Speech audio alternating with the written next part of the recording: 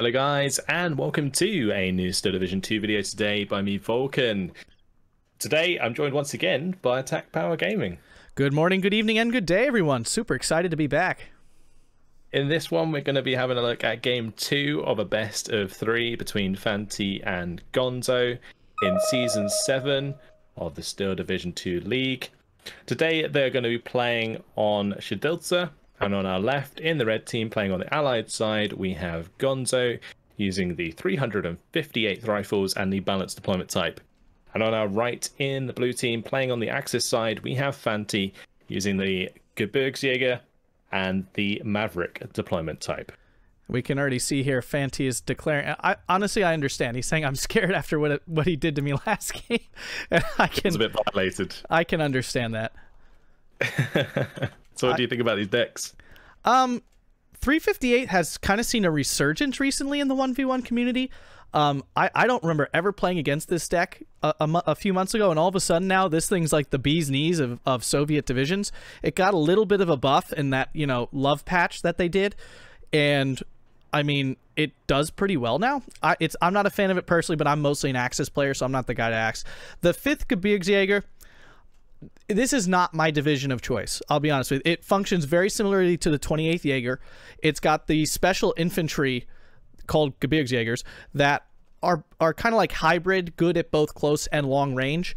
Um, it, it, what makes it so strong is that it just has a lot of great support weapons. Everything's really aggressively costed, um, so you get a great combination of, of firepower from that division. It's from the new Italian DLC, so it is it is very strong. Yeah, the nice thing about it, it's got really like decent value for money infantry, except from obviously in the latest patch when they got nerfed. Um, but I believe they were probably playing on the patch because this is on the special viewer. So this would have been, I think, before that nerf potentially. I will, we will see when we're able to check out the information on the cards. Um, but yeah, on the 358th, he does have like the Grupa Zaciski for like the really strong close range. It's uh, it's a very nice division, and it does have uh, the bombers, the big bombers, the uh, year threes, are they? Oh yeah, yeah, yep. Yeah, so in one v one, those can get quite a lot of work done because they have well, there's never really that much AA. Um, but let's have a look at what's going down here. So for the top side, for Gonzo, he's got the Maxims and the uh, infantry gun. Also has this two up there.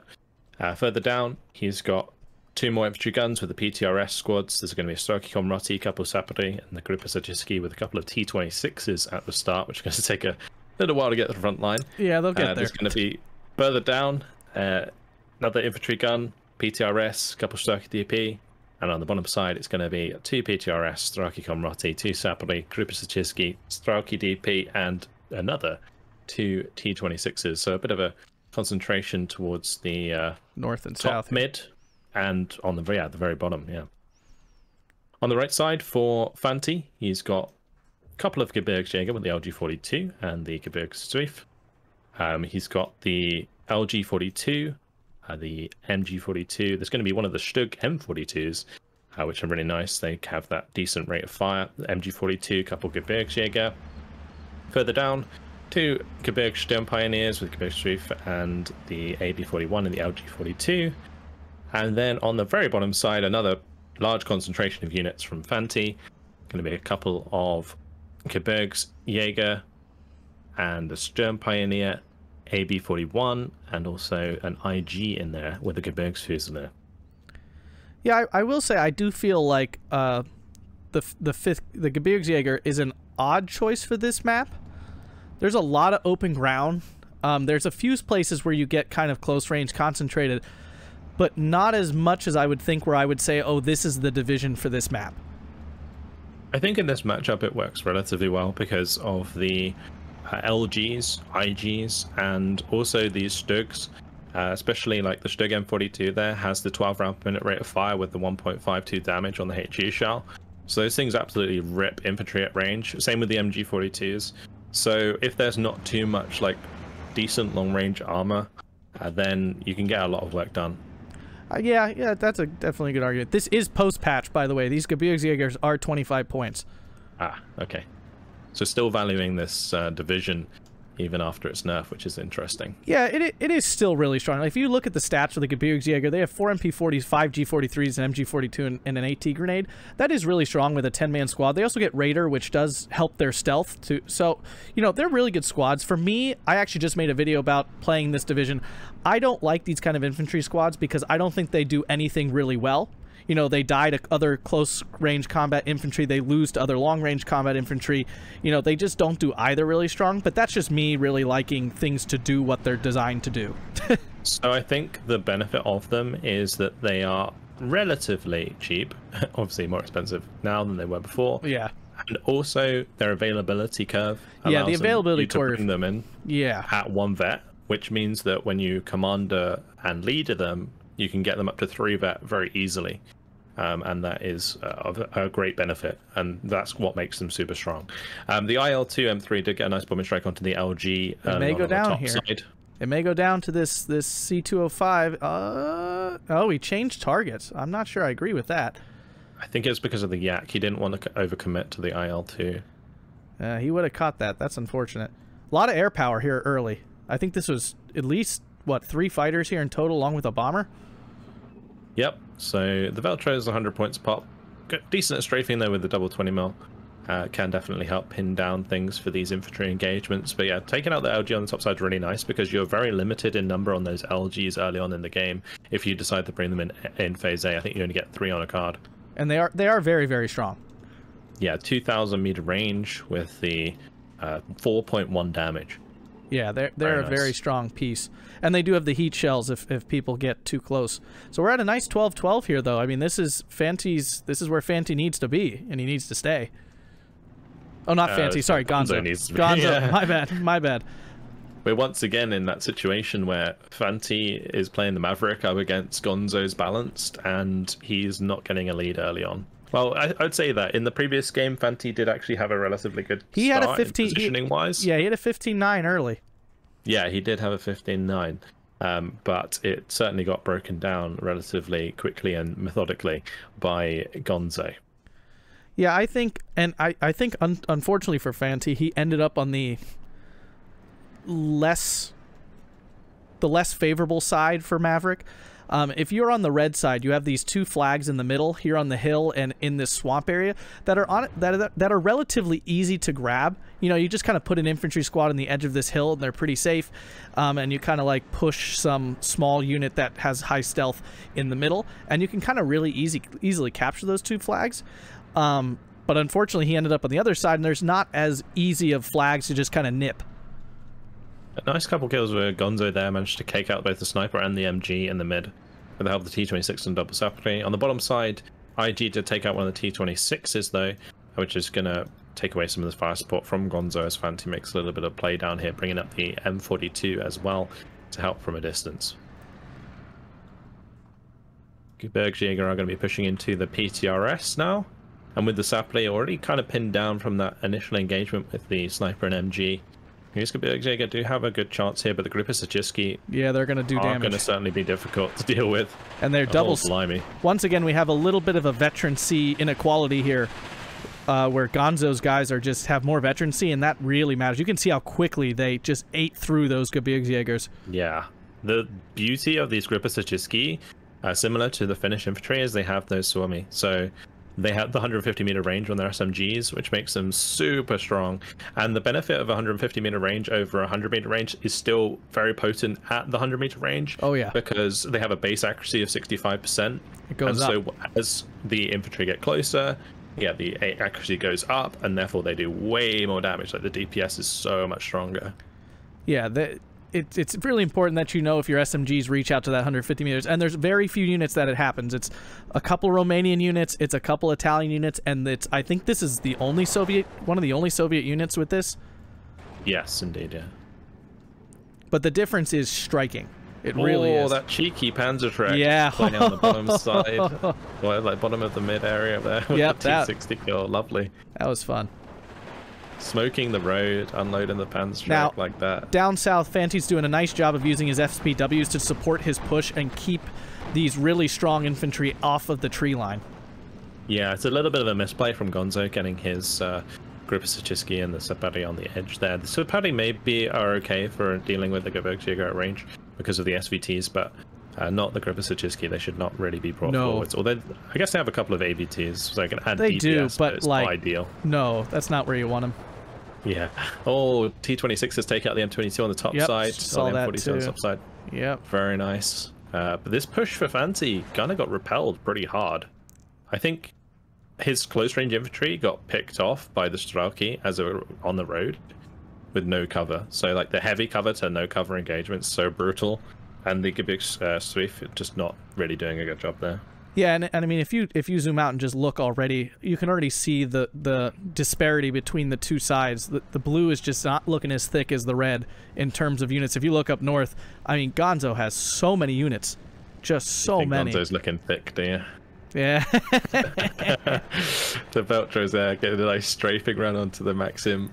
We got the uh, Sturm Pioneers going in for another push this time against the Gripasichski, but once again, look at those uh, Yeah. submachine guns just tearing these guys up. well, the Sturm Pioneers, nasty. they're not even in range. Uh, I mean, they are, Yeah. but they're only using their Berettas. So they only have three Berettas. So the, the 150 millimeter Beretta is shooting, but the two MP40s are not, which is essentially cutting their firepower in half. Yep, indeed. And the Gebirgsjäger lost like six men to the Gripasichski at the same time. Oh. That was really, really bad. And he just lost Oh. a fighter up top there to that Yak 7B. Yeah, Yak 7 taking out the Veltri. And here comes the IL-2 for, I would assume, the Pak 40 or the LG-42, one of the two. Yeah, it looks like it's heading towards the Pak 40 right now. The Maxim pinning it down. Uh, that's really nice. Um, IG from Fanti has that got has got line of sight onto the Sapre with the LG42. That's probably going to go down nice and quick.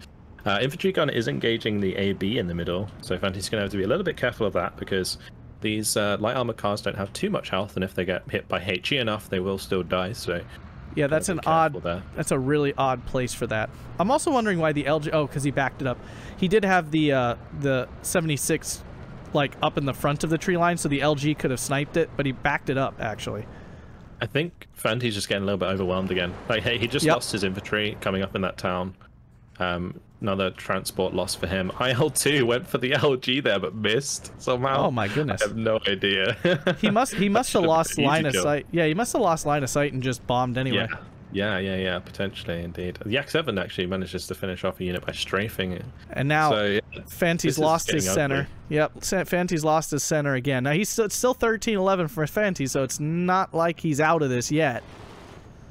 yeah, but as you mentioned, there's so much more on the field right now Yeah. from Gonzo than there is from Fanti, and Fanti has the Maverick, so Yeah. that is only going to get worse and it's going to hit a critical mass in this game where Gonzo just sweeps through and takes so many flags very very quickly Well, indeed like you can you can see the 50-50 right now or like the front line in general and there's these like four flags that are blue like in the middle That ha- there's all nobody very there. Very close to the front line There's nobody there. as soon as Gonzo pushes he gets four flags that's going to be Here comes gross. one. This is one right Yep. here. He just picked up one. Back to the 12-12. And like you can see here, Gonzo feels so good. He's leaving his IL-2 out to like strafe. Yep, Veltro's coming in, but he's got the uh, AA on the top side to kind of maybe bait it, but the IL2 might get shot enough. Yeah, Oh, yeah, there Yep, you go. yep. You got him. That's a Uh, good kill for Fanti. Have moved up in the mid and managing to capture quite a lot of ground here for now. Well, Uh, it looks like on the bottom side, Fanti's push got completely repelled. Yeah, Uh, and and now now, get he's getting counter. Now he's fire. getting counter pushed. Yeah, that is a definitely a big problem that you you can have sometimes. Is if you do make a play like that and you try and push in, you got to make sure you've almost already got reinforcements on the way, so that if it does fail, this doesn't happen to you. Yeah, I, I Um, I always tell people, don't you shouldn't you really should never attack with all of your troops. I mean, it Yeah. feels like the right thing to do because you really want to win that area or whatever. He's about to he lost a fighter down south to the double 25 Yeah. mil. Um, but if, if you send everyone forward and things do not work out perfectly, then it, everything's gone. Like you have nothing there anymore, and your line's just gonna melt, and your opponent's gonna see that. Like it's not like they don't know, and that's the big difference with this game versus you know SD1 and and Warno and and all the other you know Eugen games. This one has a front line that makes it really obvious. I mean, I don't think even SD1 the front line was so telling as it is in this game. Well, I think the, the biggest thing is just like the experience of the players in, in League One is that they know, right? Oh, yeah. They, they are keeping track of you losing units. And as soon as you lose a bunch of units, they're going to push you hard. And yeah. that's basically what Gonzo is doing here. He's putting the pressure on as soon as he knows that they're he's killed things, right? Yeah. he's keeping track of that. We saw a Um, heavy but the- bomber heavy bomber up north. It's the TU2S. That's what this division has, not the UR. This is the TU division. Oh, okay. Yeah, my bad. And these The, are um, these are even worse. the 358 the, with the addition of these uh, 25 mil AA pieces has that's that's definitely helped massively Oh, with yeah. air control in this game. this division suffered with its lack of AA and just even even just having some of this light AA to help cover your your line makes it such a huge difference. It's crazy to see which divisions are bad simply because they can't survive air spam. Yeah, like early bombers, like picking off units of infantry can Yep. make a huge difference in a game.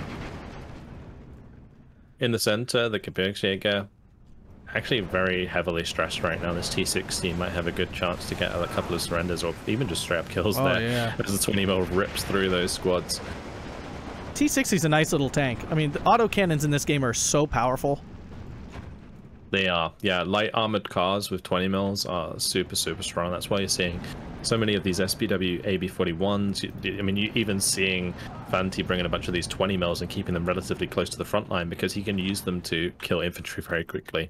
But Yeah. nice, nice flank on the bottom side by Gonzo with these two Grupa Sajiski getting a nice double kill there. IG going down and a bunch of infantry next to it. Yeah, that's brutal. Because now he's going to be able to cut off these. If he can get any sort of troops in here, you know, even a light AT gun to cover this road, he can basically cut Fanti off the, the south here. And it's, I mean, he's bringing up a Shug to try to help, but I don't know if that's going to solve his problems. Yeah, the hardest part is also that the ABTs from this group of Zachiski have forced any infantry to unload early. So they're Yep. not going to get into that top side tree line where they need to be right now. And that's allowing the the other units that Gonzo has to move up here and not have to worry about too many reinforcements. So up north here, he uh, Fanti is using his LG-42 really well to kind of snipe some of these support weapons. The Zis-2, though, is going to get into position probably to take out this Stug-3. Um, he really needs to spot this with his LG-42, but he has not yet, unfortunately. And he's just doing a fire position on the spot where he knew that OB gun was. Yeah, it's it's really bad on the. I feel like again, Fanti is getting low on like infantry availability potentially. We're in just- phase B. He like, shouldn't infantry. yeah, I know. The, the infantry disparity again is so massive. Like, yes, Gonzo's playing the 358 rifles, but like Yeah, this is the Gebirgsjäger. They have a lot of cheap infantry, and you should be able to bring a bunch of it in. I mean, it really is just these groups should. I'm not gonna say it right. Zachiski, right? Yeah, no, maybe. Yep. um, they're just absolutely not. And this is what this was my complaint with the Gebirgsjäger. They're close range infantry, but they're not. They do not match up well against infantry that are legitimately designed to fight in the woods, and that's the problem. Is he's sending these Gebirgsjägers against these Zachiskis and losing, like definitively Yeah. losing every single time, and it's just melting away his infantry force. These Zachiskis are just like some of the best close range infantry in their game. Very Um, strong. like genuinely because they're of the uh, 150 meter range SMG plus the flamer. It's just really, really, really good. Like you can use the smoke, and then you don't have to worry about necessarily being on top of the enemy unit. As long as you're able to see the enemy unit, you're going to be able to do damage, and then it's just really, really hard to deal with. The T34 here engaging the M42 in the center. Should- M42 does have decent like um, rate of fire, but the T34 got the first penetration in there. Well, at this range, this the M42 is going to struggle. Yeah, Yep. M42 does go down. So nice support taken care of. Yeah, he's gonna. Ha- LG42 might get a few kills out in the open though. he might have to. He, he might swing this Stug up north a little bit, the one he has south, to try to take out some of this armor, because otherwise he's not going to be able to reestablish in the center, and he doesn't have much there to start. Gebirgs Pioneer on the bottom side just getting having such a hard time dealing with these flamethrowers because the flamethrowers are firing first every time, and so the jerry can bombs aren't really being used. When they are, it is chunking the Sajiki quite a lot, but the Sajiki are already getting the penetration in there. I just delete that Gebirgs Pioneer. Yeah, it's uh, so gross. it's so fast. It's so fast. It's like six six men just deleted. And this is where, honestly, all the 358th needed was a little bit more AA, and it got it in that buff. And now all of a sudden, this division is absolutely painful. I mean, it's good. It's a good division now. just brutal because the the benefit of the like Gebirgsjäger in this matchup is its its utilization of like medium to long range engagements with its support weapons, but somehow Gonzo is wrapping Fanti around his finger and forcing him to play into these forests, which is completely Not where, Where he he wants, to, wants be. Yeah, well, not where. Not yeah, where not where Gonzo wants to Fanti be. wants to be. Yeah, not where Fanti wants to be whatsoever. And- three though. Might be able to take care of this T thirty four. Should be able. Oh no, not if he gets in underneath him. No. Oh yeah, that's that's a cheeky play there from Gonzo. He's just getting close enough to engage the Stug. And Maybe this- getting the Stug into a position that can, it can't fire down. But now the Stug Stugs should fire first because of its one veterancy, so the Stugs should win this. All right, there it goes. Stug three does have decent rate of fire, um, base rate of fire anyway. But T34 on the top side getting one back against the Stug M42, and is now going to be able to clean up the AB41 as well, unless the Unless the Gibbs Gebirgs- yeah. Strife gets in there. Uh, Nope. No, they're just not finding them. I think he's going for that AT gun so that he can No, move no. up his Stug a bit more reliably. Uh, with the God view, it's always so hard to watch because you know that'd be you, like r- missing a unit completely while you're walking like a foot away from it. You know what I mean? Yeah, yeah. LG42 going to be able to take out the Zis 2 on the top side, probably. And, well, no, it's changing target because it pinned it down. Stick, though, maybe finishing off. nope, that stopped firing as well. Zis 2 Oh. going to get away with it for the time being. And down south, Gonzo has, I mean, pretty definitively kind of captures. There's no way he'll ever push him out of the, the forest with all those flamers. It doesn't matter how many of these Gebirgsjägers he throws forward, it really doesn't. Yeah, we're coming up to the 20 minute mark where Gonzo's income will be almost double that of Fanti's. Yeah, And, and Fanti has not made any ground. Nah. No, this is. I mean, he finally takes out that T-34 up north with his Panzerschreck, so that's a plus. He's got. He's gonna take out a Grupa here.